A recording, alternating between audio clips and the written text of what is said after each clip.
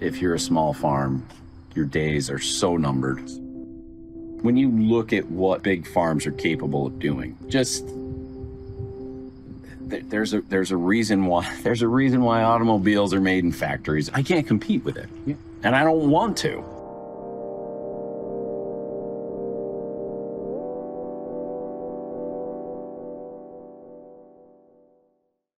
Today we are in Pawlet on our way to Woodlawn Farmstead, which is run and owned by Seth and Kate Leach, multi generational farmers who are figuring out ways to adapt dairy to this crazy commodity market that milk has become.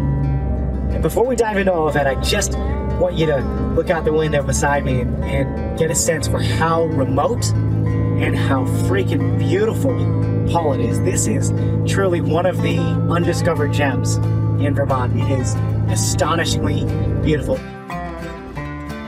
You know where I can find Seth? Out baling hay.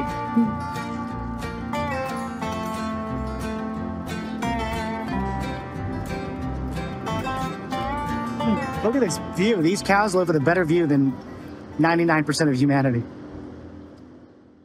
So my name is Seth Leach, and I'm the owner and operator uh, at Woodlawn Farm in Pawlet, Vermont.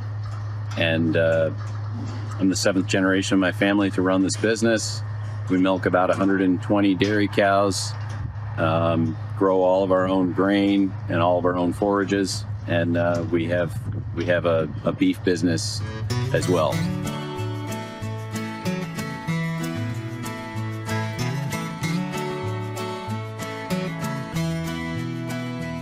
We figure uh, 1831 is when we started here. How does it feel? What does it mean to you to be on land that your family's been on for so long? That's a tough one to just answer, you know? Like, how does it feel? It feels like it doesn't ever feel like a burden. Never. It feels like I mean, basically, I just don't want to be the one that fucks it up, right? Like it's been going on for a long time. Mm-hmm. I don't want to be the one that it falls on its face under my watch. And how much acreage are you on now? Right now, the home farm is not quite 400 acres, but it's close. There's actually about 75 acres of this upland pasture that we've been working pretty hard at bringing that back to greater productivity. You know, fencing it off, as you can see, and rotating Yeah. cows through it. This is a part of the farm that we all really love and have always loved. It raises our heifers in the summer. We just moved a group of them into this this fresh paddock here on the right this morning.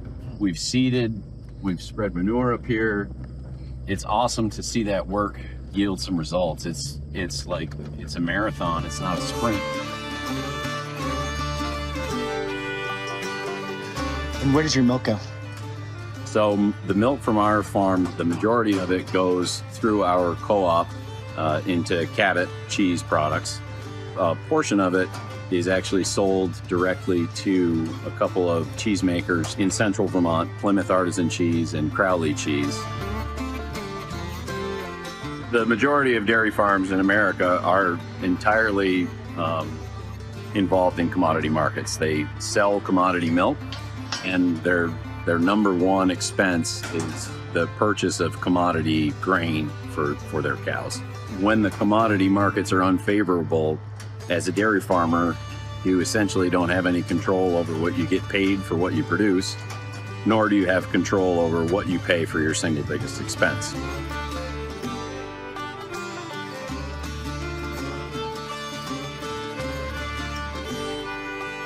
I love what Plymouth and Crowley and I have done. They had a need. They they couldn't buy the high quality raw milk that they needed in a single source. It, it just it became like unavailable to them because of trucking and you know proximity to farms and all this stuff that just kind of crumbled on them. And I just went to them and was like, okay, so I I make this much milk. Here's the quality that you could expect. Is this interesting to you? The answer was yes. You know, and what that's evolved to is I own a milk truck and a wash bay now to make that happen.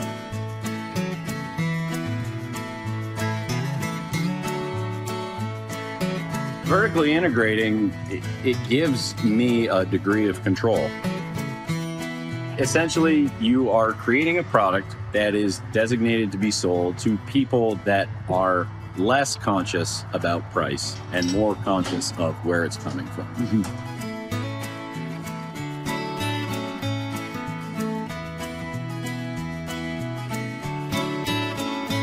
Plymouth and Crowley take they take a wedge of my milk. They pay me a fair price for my milk always. It would be a huge deal if I was selling them half or more of my milk. So I look at I look at consider as this way to potentially take another piece of my production and, and funnel it into a value add Yeah. um, channel.